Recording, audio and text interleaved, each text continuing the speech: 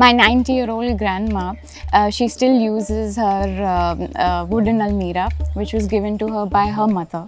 As a kid, I've seen solid wood, I've seen how it cracks, I've seen how it warps. My father and grandfather have extensively, you know, worked in the wood industry.